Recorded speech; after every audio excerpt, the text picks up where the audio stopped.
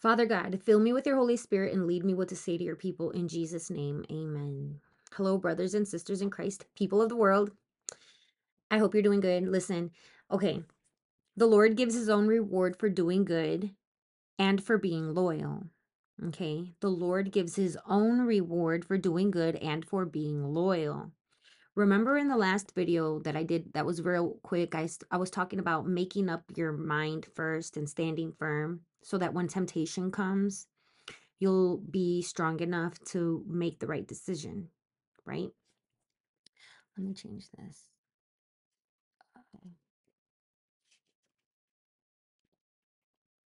Oh, no, no, no. I apologize. I'm changing the lighting because. Okay, there we go. So, okay, it's not just like temptation, like, you know, like these things that are your sins. Um, and Holy Spirit, please help me, God, do help me do this right. Um, okay, so I'm reading about when David had the opportunity to kill Saul because he was chasing after him. Okay? And then um David chose not to kill him because he is God's anointed one. Okay? So so um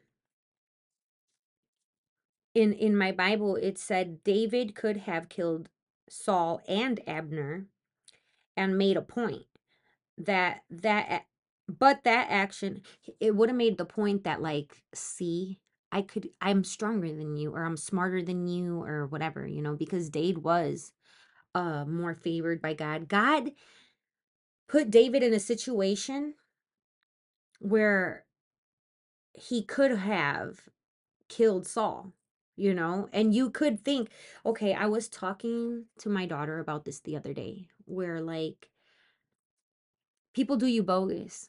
People do you bogus your own family members your friends um you know those people people that are close to you um your brothers and sisters in christ people from church who whoever is like supposed in a position where there's of trust okay where where you're supposed to be able to trust them you know but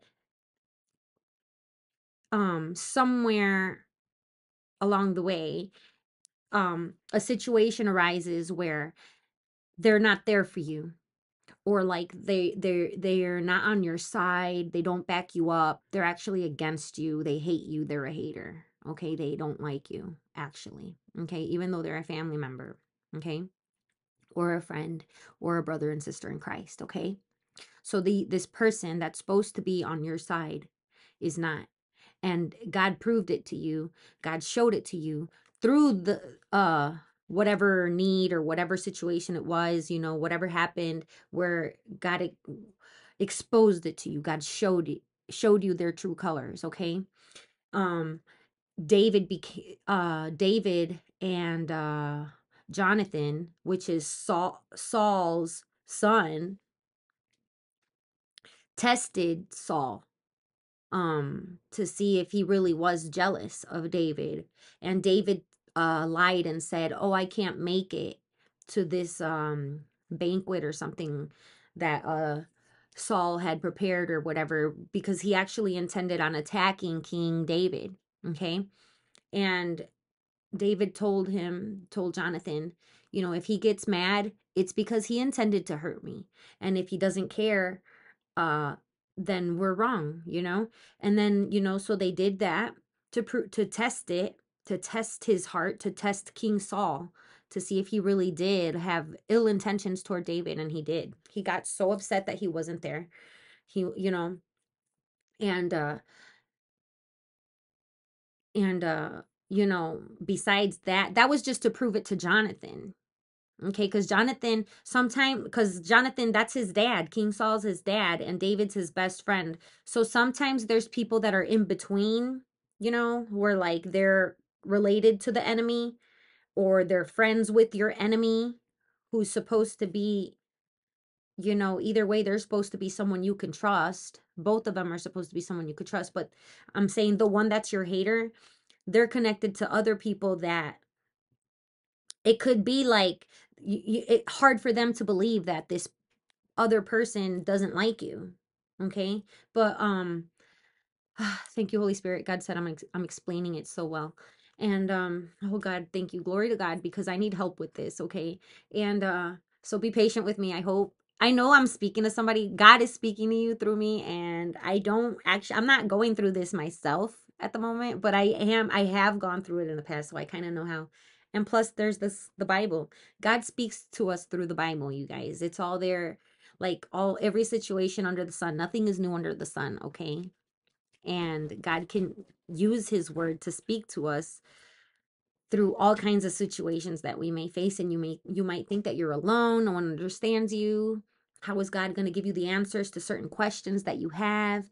But it's it's through his word you guys okay and i'm willing i'm here i'm available to the holy spirit and i'm here to tell you okay that god is very much well aware and he wants to reward you for doing good so i i'm i'm not sure if i have to tell you to make up your mind because I already said that before. So I hope you received that word. Make up your mind about doing good, doing what's right. Okay. Be the hands and feet of Jesus. Be like Jesus in these hard situations uh, when you have to deal with your loved ones.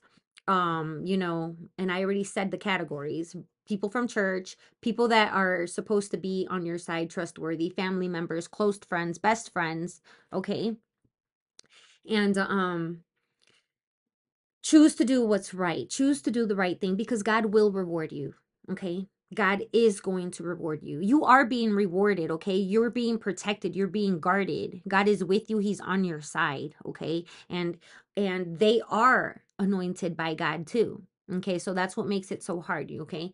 Because they're your enemy but they're also a christian okay? They're supposed to be a christian too and that's it's like you know, I always ask God, like, God, whose side are you on? Like, do it may seem like certain leaders in the church or in life, people above you, it could be your parents. It's just someone who's a Christian that's above you in a place of honor where you're supposed to honor them where honor is due because they are either the pastor or a deacon or a teacher or your parent you know it's like you have to just honor them you know and give give give um god whatever vengeance or resentment or hurt or pain they cause you you know? Whether it's willingly or unwillingly in this case saul was doing will doing it willingly okay? He deliberately hated david because he was he had a spirit of jealousy. He was jealous of david okay? He was jealous of david's anointing okay? And because saul wasn't fully walking in the ways of the lord okay at first he was, but he switched up. Okay. And that's why the Lord himself sent Saul a tormenting spirit. And that's what it was. It's the spirit, it's this evil spirit in them be, that they received because of disobeying the Lord that they want to attack you now. Okay. Because you are anointed and you are walking in the ways of the Lord and you are already deliberately choosing to not give into the temptation, temptation to take matters into your own hands in a vengeful way for vengeance, okay? Even though it's deserved, even though the Lord is give, giving them over to you in a position uh, where you are able to attack, okay? You are able to say things, you are able to expose them, humiliate them, you know, um, you fill in the blank, whatever God has, you know, whatever the situation may be for you. So God, I'm so I'm, I'm I feel like I'm doing such a good job, like because it's just I have so much clarity right now, and it's like just God, and I want to point that out because God is good. But anyways, so you know what I'm saying. Give the video a like, you know, if it's for you, totally, because glory to God, and um. God is good. Give him a praise, okay? Because you are going to be rewarded. Don't think don't be discouraged okay? Because david was discouraged. I was reading a little further um and this is in first samuel t- chapter 26 verse 23 where it says the lord gives his own reward for doing good and for being loyal. And i refused to kill you even when the lord placed you in my power for you are the lord's anointed one. Now may the lord value my life even as i have valued yours today See, now may the Lord value my life even as I have valued yours today. Okay? Because um of course we value life god values our life may may the lord value your life okay if the if if the situation if if if uh and that's what i was go- telling my daughter um the other day like god will turn the situation around okay? He could he's gonna god will turn it. Right now king saul is still the king and he's above david. So david's the one running away from him right? But god will turn the situation around and put you in the position where now you're above. But even now before david is king he has the ability okay to overtake Saul out of vengeance and and all of that, right? And and and and do what's right in his own eyes. that was for somebody. And do what's right in his own eyes. So don't don't do what's right in your own eyes and your own wisdom, okay? Do it just give it to the Lord, okay? You don't want to have um the uh David also practiced this uh when a woman one of his wives actually he took her uh Abigail um she advised him not to kill her husband because he rejected him to help him. He rejected helping him in his time of need. Again, because Saul was after him, after King David. And David, she what she said was so wise. She said, You don't wanna you're you know you're already anointed to be king. Okay, and I feel the Holy Spirit. You know you're already anointed to be king. Okay, you are anointed to be a willing vessel of the Lord Jesus Christ to do, to walk in the ways of the Lord according to his word and be faithful to the Lord's commandments. Okay, that's why you are chosen. Okay, that's why the Lord is favoring your life. That's why. That's why God is sending you this word of encouragement, of warning, and mostly encouragement because He doesn't want you to be uh, downcast, oh, your soul. He doesn't want you to be um, resentful, okay? Because that opens up the unforgiveness in your heart is not a good thing, okay? God doesn't want you to feel timid or afraid, okay? He hasn't given you the spirit of fear, but of power, love, and a sound mind in Jesus' name through Jesus Christ. And you are doing good, okay? God is watching you. He's watching over your life. He is ordering your footsteps. But you are called to be careful, okay? And careful to obey God's word and God's commands. Right now, it is so important for your anointing. It's so important on the calling in your life, okay? Because God is doing big things for you. People, other people around you of importance, okay, are watching you. They admire you. They're looking they're looking at to see how you're going to react because they're aware of the situation, okay? Hence the person that is in between, people that are in the middle of all of this, okay? This situation, okay? The Lord is good. He is faithful and just to forgive us all our sins and cleanse, uh, cleanse us from all unrighteousness. Okay. And that's because we do make mistakes, for all have fallen short of the glory of God. So don't be hard on yourself, child of God. Okay. God has not left you or forsaken you, He's on your side. He is going to he is turning the situation around. He already has. You you are um doing well. Okay, you're doing well. And um, just know that you will be rewarded for doing what's good in God's eyes. Okay. And um, I also wanted to say, I want to finish because I feel like I'm done, but I want to say, I want to leave you with this, with that the joy of the Lord. It's just some sprinkles. I I feel like there is a whole sundae, a chair, ch- uh, ice creams, three layers, a cherry, and these are just sprinkles now. Okay, now we're just sprinkling some extra on here. And it's the joy, it's Nehemiah chapter 8, verse 10. The joy of the Lord is your strength. The joy of the Lord is your strength. Okay, may this word bring you joy in the Lord, and that it through the Lord, the Lord Having joy in Him is your strength because the Lord is watching over you. The Lord is in control, okay? The Lord is aware of the situation.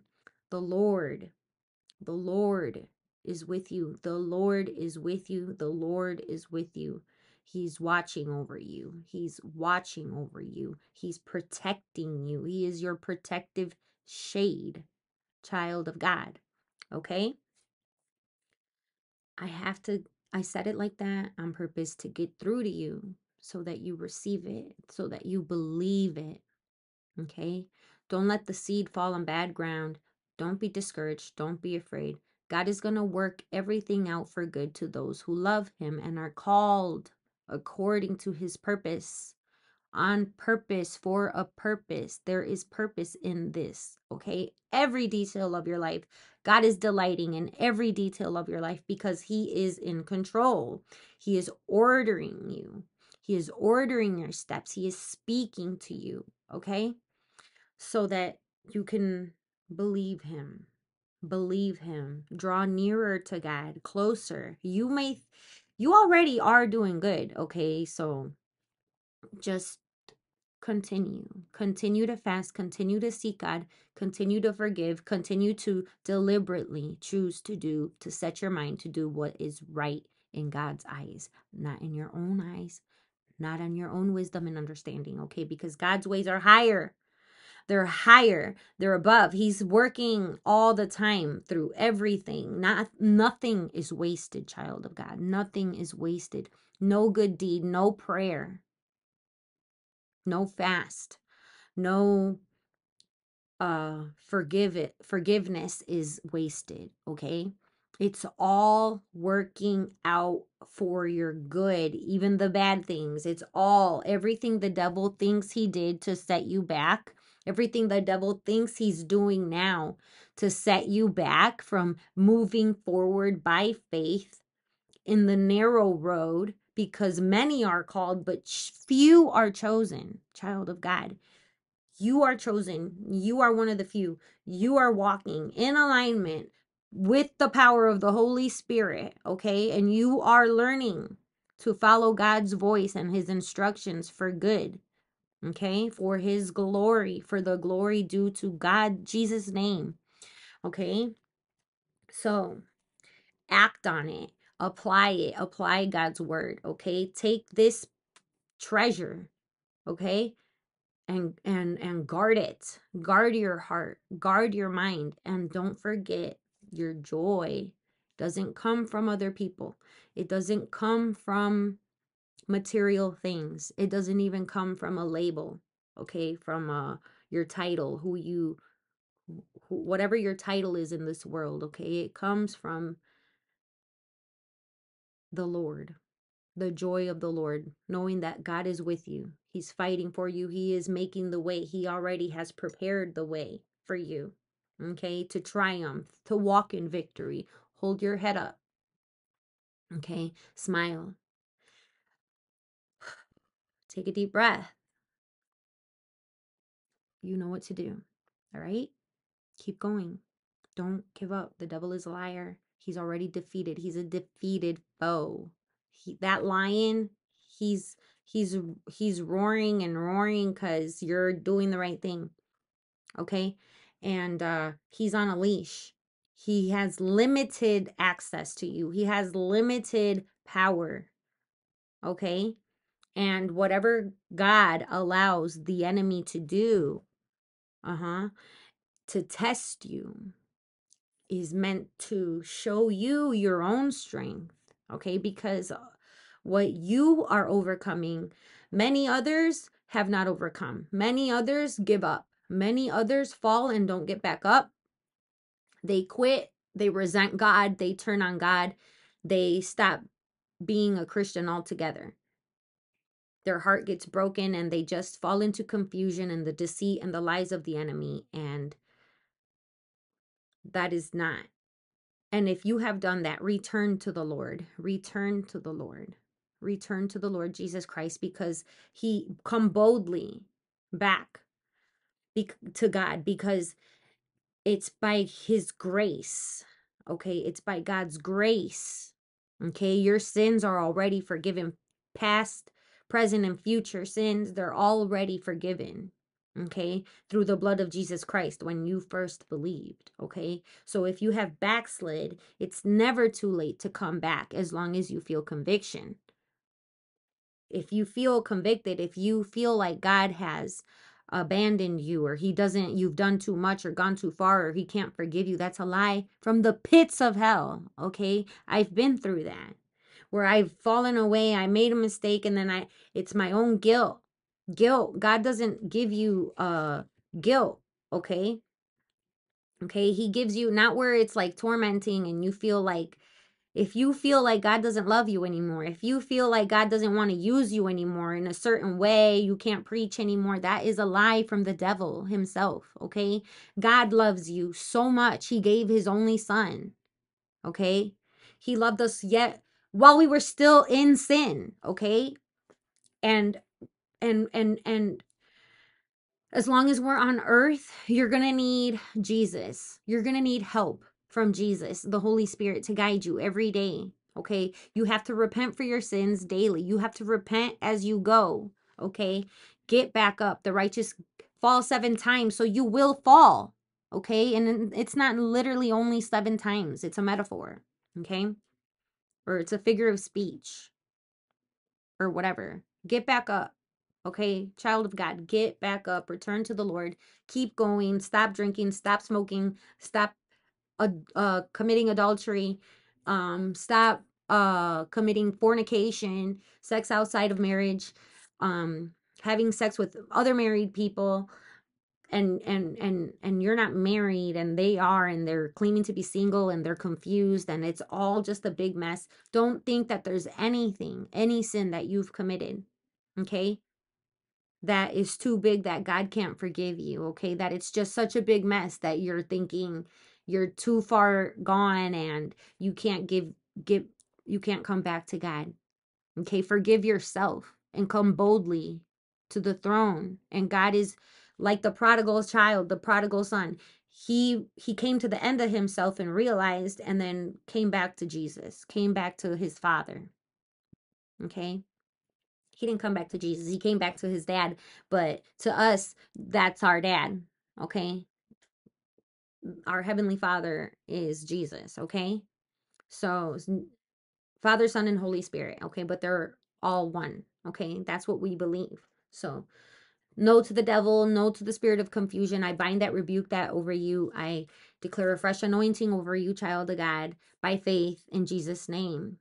Okay. And you have to choose. You have to choose to believe. Okay? In spite of what the world says, in spite of what your situation around you says. I know you feel the Lord is tugging at your heart. The Holy Spirit is speaking to you. Come back to me, my child. Come back to me. The joy of the Lord is your strength. The joy of the Lord needs to be your strength. And if you're feeling weak and weary because you are not accepting that, you're not believing that and taking it to heart and and rewashing, re retraining your brain with the truth of God's word. Because the world will lie to you. The world will tell you it's too late, give up, you're done, it's over, you've messed up. You did you did too much. No, you didn't. Okay? I don't even know you and I'm here to tell you that, okay? Because God God's telling telling you through me, okay? And I feel him. I feel him. Oh, Father God, help us to be still and know that you are God.